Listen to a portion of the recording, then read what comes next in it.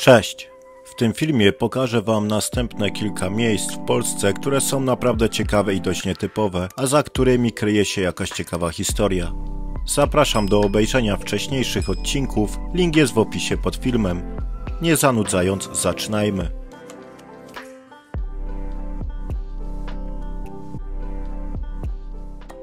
Park Grudek w Jaworznie, zwany polską Chorwacją lub polskimi Malediwami. Dawniej w Jaworznie działała kopalnia dolomitu, którą spotkał naprawdę dziwny los. Z powodu problemów z płynnością finansową w 1997 roku kopalni odcięto prąd, co spowodowało, że przestały działać pompy osuszające wyrobisko. W ciągu kilku dni cała kopalnia została zalana, co zmieniło krajobraz okolicy niemal nie do poznania. Dziś na terenie zalanej kopalni działa park Grudek. Okolica przypomina wybrzeże Chorwacji. Białe skały wyrobiska przyjemnie kontrastują z czystą lazurową wodą, nad którą wzniesiono kładkę z altanami, co z kolei upodabnia park do wspomnianych Malediwów. Na skałach znajdują się punkty widokowe, z których można oglądać ozdobną roślinność podwodną. W wyznaczonym miejscu można nawet nurkować. Jedną z atrakcji jest podwodna wycieczka do zalanych koparek na dnie tego niezwykłego zbiornika.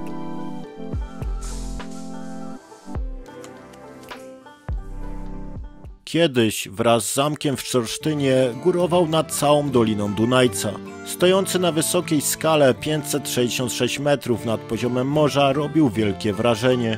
Ale odkąd dolinę zalano i powstało jezioro czorsztyńskie, wrażenie robi nieco mniejsze, ale za to jakże piękne. To jeden z najbardziej magicznych i ciekawych zamków w Polsce, z którym związanych jest wiele legend, ale też historii, które brzmią jak legendy, choć wydarzyły się naprawdę. Zamek, zwany od wieków Dunajec, stoi tu już od XIII wieku. Wybudowali go węgierscy możnowładcy w odpowiedzi na położony po drugiej stronie Dunajca, wtedy polskiej stronie, gród warowny Wronin, z którego powstał zamek w Czorsztynie.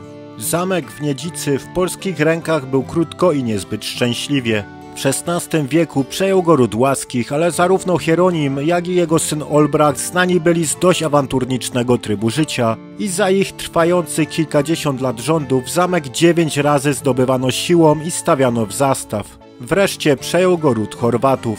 W rękach Chorwatów i potem Salomonów z krótkimi przerwami przetrwał do końca II wojny światowej. Ale dość historii, ciekawsze są legendy związane z zamkiem. Najsłynniejsze to ta o bardzo zakochanej, ale kłótliwej parze, Bogusławie i Brunhildzie. W czasie jednej z kłótni Bogusław pchnął swą żonę tak nieszczęśliwie, że wypadła z okna wieży zamkowej wprost do głębokiej na 90 metrów studni.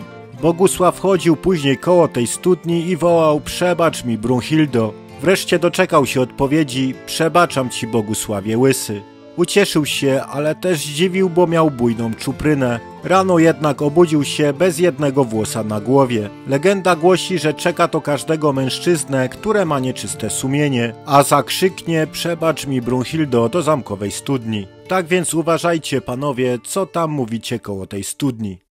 Zamek Dunajec skrywa też wielką tajemnicę, a być może i wielki skarb. Pod koniec XVIII wieku schronił się tutaj Sebastian Berzevici z Uminą i jego synem Antonio, który był potomkiem inkaskiego władcy Tupaka Amaru. Mieli tu przywieźć i ukryć trzecią część skarbu Inków. Umina zginęła zasztyletowana przez hiszpańskich szpiegów, a skarbu nie odnaleziono. Choć tuż po II wojnie światowej pod progiem zamku znaleziono kipu, pismo węzełkowe Inków, które miało wskazywać miejsce jego ukrycia ale może lepiej go nie szukać, bo ponoć ciąży na nim klątwa. Wszyscy jego poszukiwacze ginęli w tajemniczych okolicznościach, za to zamek można zwiedzać zupełnie bezpiecznie. A jeśli chcecie się przespać jak książęta w tym ponoć nawiedzonym zamku, jest taka możliwość. Do wynajęcia są tu apartamenty w komnatach zamkowych lub na poddaszu zamku. I to w całkiem dobrej cenie. Tak na marginesie, w Krakowie za te pieniądze to raczej wyśpicie się w podrzędnym hotelu. Wszelkie informacje na ten temat znajdziecie na stronie zamku, link w opisie pod filmem.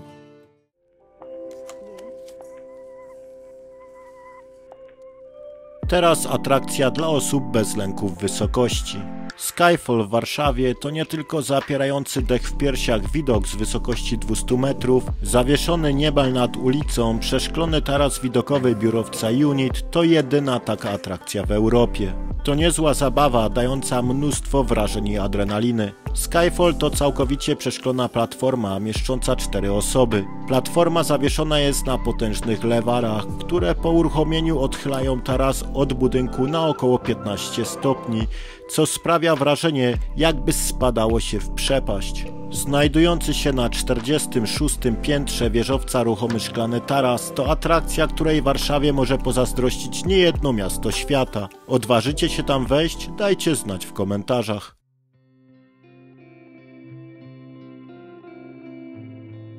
Pustynia Błędowska jest to największy w Polsce obszar lotnych piasków, około 33 km2, leżące na pograniczu Wyżyny Śląskiej i Wyżyny Olkuskiej. Rozciąga się od dzielnicy Błędów w Dąbrowie Górniczej na zachodzie do gminy Klucze na wschodzie. Granicą północną pustyni jest wieś Hechło, a na południu jest ograniczona dużym obszarem leśnym. Przez pustynię ze wschodu na zachód przepływa rzeka Biała Przemsza. Obszar pustyni objęty jest programem ochrony Natura 2000. Pustynia Błędowska powstała częściowo za sprawą lądolodu, a po części przez człowieka. Podczas epoki lodowcowej, następujących po sobie zlodowaceń do doliny, w której znajduje się pustynia, stopniowo nanoszone były kolejne porcje piasków i żwirów. Przez długi czas te rozległe tereny podlegały działaniu wiatrów oraz wody, co nie sprzyjało wzrostowi roślinności. Gdy minęła epoka lodowcowa, pojawił się gęsty las, który dopiero w okolicach XIII wieku zaczął być intensywnie eksploatowany.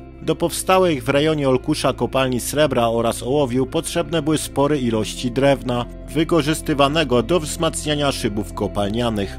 Intensywna wycinka drzew oraz pobór wód gruntowych na terenach, gdzie podłoże stanowiły żwiry i piaski, doprowadziły do powstania pustyni. Na tym terenie przez wiele lat działał poligon wojskowy i testowano rakiety Ziemia-Ziemia. Teren został oczyszczony z niewybuchów przez saperów, więc teraz spokojnie można tutaj spacerować i robić foty na Instagrama. Pustynia Błędowska była kiedyś ogromna, jeszcze w latach 30. XX wieku miała około 150 km2 powierzchni. Dziś jest pięciokrotnie mniejsza i nadal maleje, ponieważ zarastają ją stopniowo drzewa i krzewy. Jednak za sprawą dopłat z Unii Europejskiej drzewa są usuwane, aby powiększyć pustynię, która tak naprawdę pustynią nie jest. Poprawna nazwa tego miejsca to lotne piaski.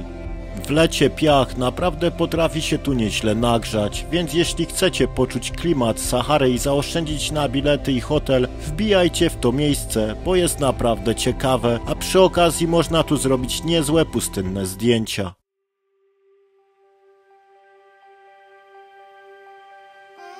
Podziemne atrakcje i szlaki Polski to nie tylko kopalnie, bunkry, kanały i piwnice. Najpiękniejsze podziemia stworzyła sama natura.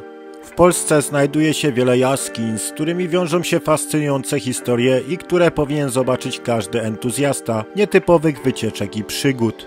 Smocza Jama pod Wawelem w Krakowie trafiła do bajek opowiadanych dzieciom. To jednak prawdziwa jaskinia, która powstała od 10 do 1 miliona lat temu, czyli naprawdę dawno. Ciągnie się od zamku w pobliże Wisły. Składa się z trzech komór o łącznej długości ponad 270 metrów. Od VII wieku stale uczęszczana przez człowieka. Pierwszą informację o jaskini podał wraz z legendą o smoku wawelskim mistrz Wincenty zwany Kadłubkiem w kronice polskiej z XII wieku. W XVI wieku król Zygmunt August kazał zamurować wejście do jaskini, bo chronili się w niej bezdomni krakowianie. Nieco później wejście znowu otwarto, a w jaskini zorganizowano znaną w całej Europie karczmę. Podobno piwo tam było zawsze zimne. Źródła sugerują także, że w którymś momencie działał w niej później lupanar, czyli taki dom uciech i to pod samym nosem panujących. Dziś Smocza Jama udostępniana jest turystom, ale nie cała, a jedynie odcinek liczący 81 metrów. Będąc w Krakowie naprawdę warto odwiedzić to miejsce, zwłaszcza, że znajduje się pod główną atrakcją Krakowa. Na tym kończę ten odcinek. Już niebawem opublikuję kolejny film i odkryjemy kolejne ciekawe i tajemnicze miejsca. A jakie? Zasubskrybuj mój kanał, wciśnij dzwoneczek, a o każdym nowym filmie dowiesz się pierwszy. Nie zapominajcie także o kciuka w górę i napiszcie w komentarzach, czy byliście w tych miejscach i jak tam było. Jeśli znacie jakieś ciekawe miejsca w Polsce, dajcie znać, a na pewno zrobię o tym film. Dziękuję za każdy komentarz i pomoc w rozbudowie tego kanału. Do zobaczenia w kolejnym filmie. Trzymajcie się, cześć!